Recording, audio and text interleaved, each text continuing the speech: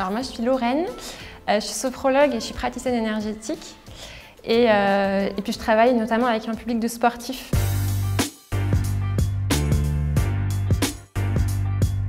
Alors du coup, c'est euh, justement le fait que je travaille avec les sportifs. Pour répondre un peu à leurs problématiques, je suis allée chercher sur Internet et je suis tombée sur les vidéos de Pierre et qui correspondaient vraiment à ce que, euh, à ce que je recherchais, notamment du point de vue du fond, parce qu'il euh, répondait vraiment aux problématiques euh, qui s'appliquaient à, à, ces sportifs.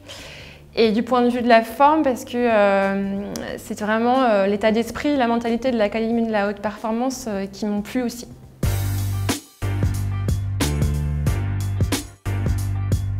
C'est justement euh, ces thématiques de euh, manque de confiance en soi, de peur du, regard des autres, de difficulté à, garder le contrôle de soi.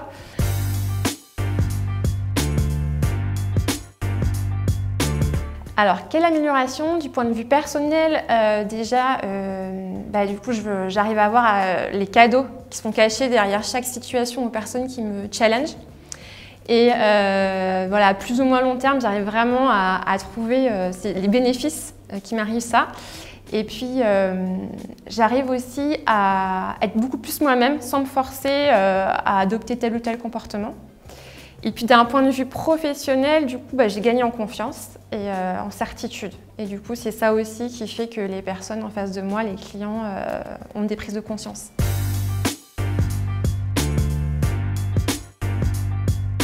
Alors les points forts, c'est euh, un mix entre euh, comment dire, soutien et challenge. C'est-à-dire soutien parce qu'il y a vraiment ce côté euh, bienveillant, rassurant qui m'a mise à l'aise.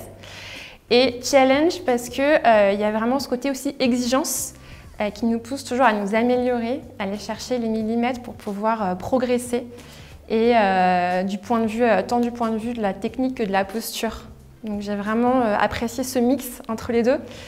Et euh, ce que j'ai aimé aussi, c'est le côté euh, à la fois théorie et pratique en groupe et en individuel. Mais en individuel sans jamais se sentir seul, parce qu'on a des feedbacks sur nos séances, euh, on a des réponses à nos questions, on a vraiment une grande disponibilité en face.